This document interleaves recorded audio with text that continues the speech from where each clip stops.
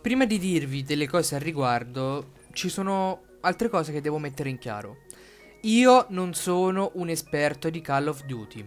Questo è il primo Call of Duty che prendo in tutta la mia vita. Non ne ho mai provati né in multiplayer né in zombie, quindi non conosco tutte le meccaniche di gioco. Vi dico soltanto quello che so e darò un parere personale, soprattutto neutrale, siccome ho sempre giocato Battlefield in multiplayer in tutta la mia vita. Ho sentito molte cose riguardo questo titolo, ad esempio che era simile ai precedenti stili, tipo Black Ops 2, ma mischiato comunque nuovi stili, tipo Advanced Warfare. Altri pareri dicono che è il peggiore che hanno mai fatto, ma io, da ignorante della serie eh, che sono, li ho semplicemente ignorati e ho provato il titolo con un pensiero assolutamente lontano da quello che potesse essere il gioco.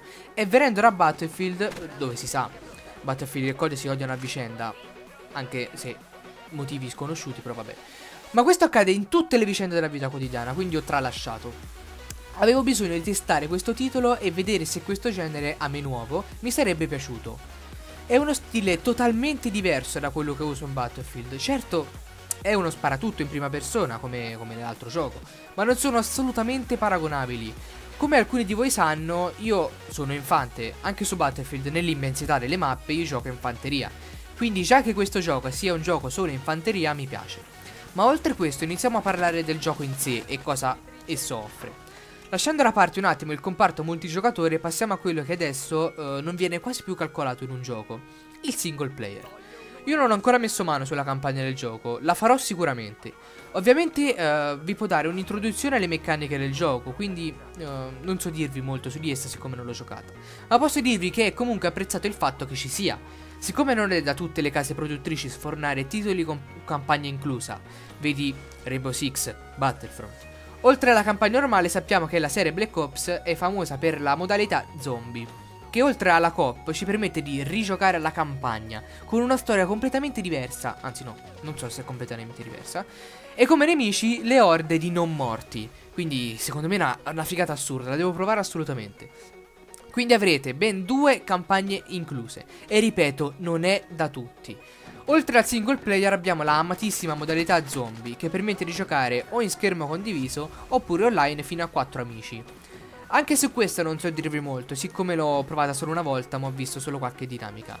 So solo che riprende uno scenario retro adattato agli stili moderni e con gli zombie. Quello su cui posso dirvi qualcosa è il multiplayer. Una volta entrati nell'online di Black Ops eh, potete buttarvi subito nella mischia, ma prima dovete scegliere uno specialista. Uno tra una serie di personaggi utilizzabili nel gioco. Non cambia molto tra di loro, l'unica cosa che cambia sta nell'abilità che scegliete, in base alle vostre licenze e capacità. Dovete scegliere, diciamo, quella più consona a voi. Uh, non preoccupatevi perché potete cambiarli comunque in futuro. Una volta scelto lo specialista ed entrate in una partita, uh, dovrete scegliere la classe. Potete scegliere o le eh, 4-5 classi già preassegnate con le armi, già con gli accessori se non sbaglio, oppure potete personalizzarvi da soli fino a 4 classi. Personalmente non ho toccato minimamente quelle già fatte, ma mi sono subito buttato nella mischia con la mia classe personalizzata. La mia prima impressione dopo la prima partita, ovviamente deathmatch da nabbo qual sono, è stata no, io sto gioco lo vendo, mi fa schifo. E in effetti proprio non era il mio genere e morivo davvero in tutti i modi. Ma quindi, cosa mi ha fatto cambiare idea? Semplicemente, come in ogni gioco, nessuno nasce imparato. La pratica rende perfetti e facendo pratica e morendo tante tante volte, ho capito il potenziale di questo gioco e ragazzi fidatevi spacca! È frenetico, tattico e allo stesso tempo vi diverte, che è la cosa più importante. Mappe fatte con logica, corridoi diciamo a zig zag che offre comunque dei ripari che permette sia di difendere che di attaccare a sorpresa i nemici.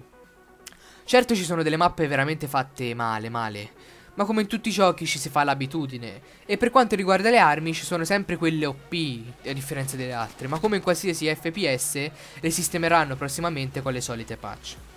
E sono davvero belle da usare alcune, eh, davvero belle. Che sono quelle più lente che fanno più danno o quelle più veloci che fanno meno danno. Ma come in tutti i giochi, diciamo, queste sono bilanciate. Però alcune veramente sono sgrave. Io al momento ho usato soltanto qualche fucile d'assalto e qualche SMG. E sono davvero belle da usare. Ovviamente se volete utilizzarle al massimo dovrete mettere gli accessori che non ve li danno dall'inizio ma dovrete sbloccarveli man mano facendo le uccisioni. Vi consiglio comunque di sbloccare tutti gli accessori e provarla quello che vi torna meglio. Ma di queste comunque parleremo man mano nei prossimi video. Per questo direi di aver detto abbastanza, se avete comunque intenzione di capire meglio qualche dinamica del gioco, scrivetemi nei commenti, insomma fatemi sapere quello che pensate, sia pareri positivi che negativi. L'importante è non puntare il dito senza aver prima provato. Ci sentiamo al prossimo video, bella!